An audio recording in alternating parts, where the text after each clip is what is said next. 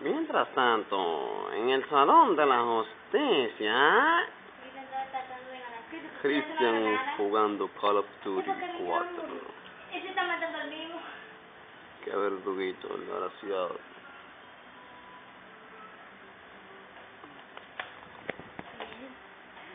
Y que lo mataron.